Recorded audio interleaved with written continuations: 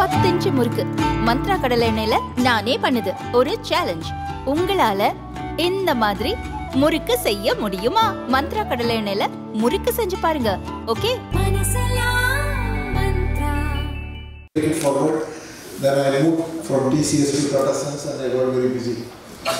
Then this kind of took a back seat. As we are sitting here and I am speaking, somewhere in the world there are a number of artificial intelligence algorithms are analyzing medical images and identifying things a normal human eye will miss. It could be a possible tumor, it could be a missed fracture, it could be anything. We are already past the moment where a pathogen's genome can be sequenced in a matter of hours.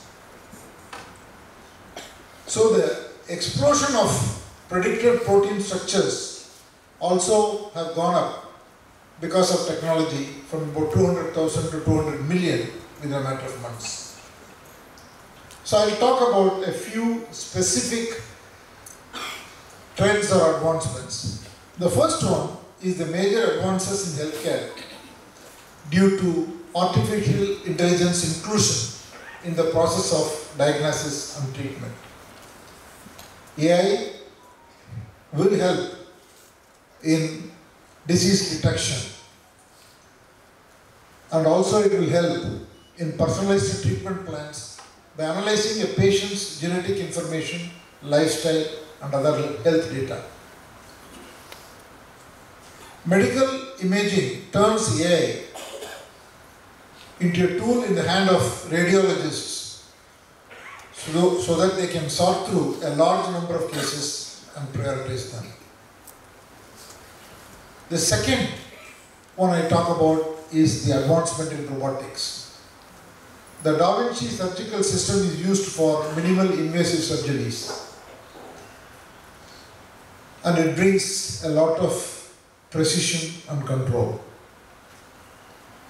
iKnife, another technology, is a small scalpel that detects cancerous tissues real time during a surgery. CyberKnife, another technology that delivers high doses of radiation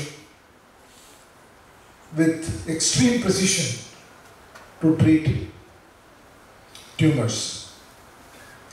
All these technologies are real and we are not talking theory. It is happening now. Surgery is one of the foremost fields embracing these technologies. Radiology is another discipline where, where AI will have a very, very significant influence. In pathology, again, artificial intelligence algorithms will help analyze tissue samples, improving the accuracy of diagnosis and speeding of processes. So, where is it all going? What is the future going to be? It is open to debate. But designing of technology requires some projection. By 2025, we anticipate AI will significantly enhance our ability to detect diseases early and develop personalized, personalized treatment plans.